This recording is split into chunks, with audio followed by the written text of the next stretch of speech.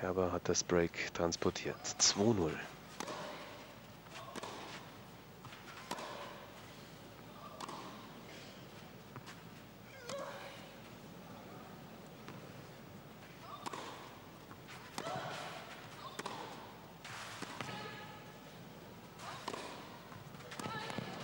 Da ist er nochmal dran.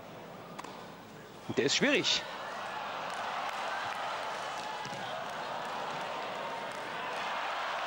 Und der ist auch noch gut.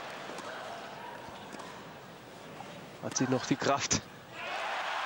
Mit letzter Kraft. Da stehen Torben Belz und Joshi Thron. Da stehen auch einige in der Halle. Da lächelt auch Barbara Rittner wieder. Was für ein Kampfgeist.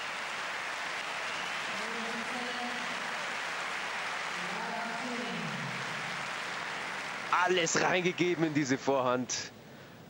Eine echte Klebe ist das.